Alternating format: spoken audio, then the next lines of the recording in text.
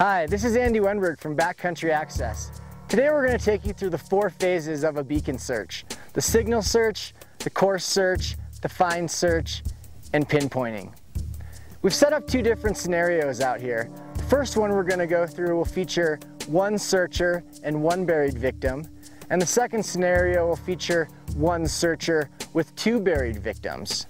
Today we'll be using the BCA Tracker 2 avalanche beacon, but the techniques we're going to show you out here can be applied to any beacon on the market.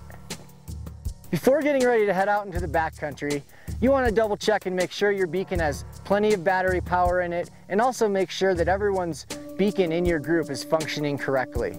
And always remember, you want to wear your beacon directly under your outermost layer. So if this is my outer layer, I'm going to wear it right underneath here where it's nice and accessible if an accident were to happen. The first phase of the beacon search is called a signal search. The goal of this phase is to find a strong signal.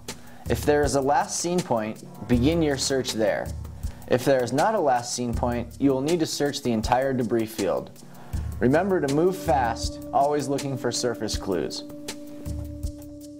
After a consistent signal is found, you will enter the coarse search. Use your directional arrows and distance readings to navigate your way.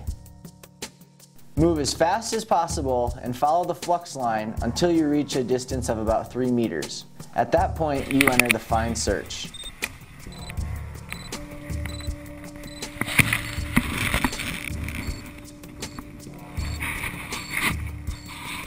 Once you are within 3 meters of the victim, you will begin the find search. Hold your beacon just above the snow surface and bracket to find the lowest distance reading. Remember to move slowly, and once the lowest reading is confirmed, don't hesitate, start probing.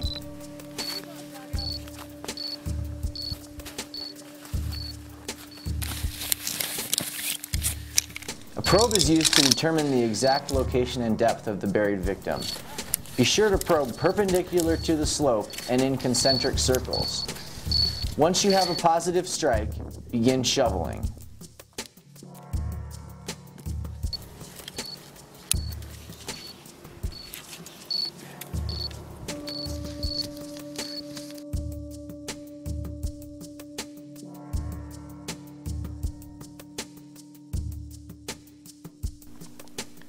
With only one searcher available, you will solve this double burial as a set of single burials. Go with the strongest signal you pick up first. Go through the signal search, coarse search, and find search, and pinpoint. Dig the first victim out. Clear their airway and turn off their beacon.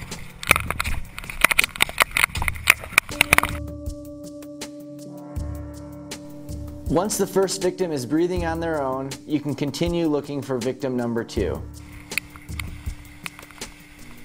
Begin your search for victim number two where you left your signal search if no signal is detected after immediately turning off victim number one's beacon. Once you have the signal for victim number two, go through the coarse search, find search, pinpoint, and dig out the victim.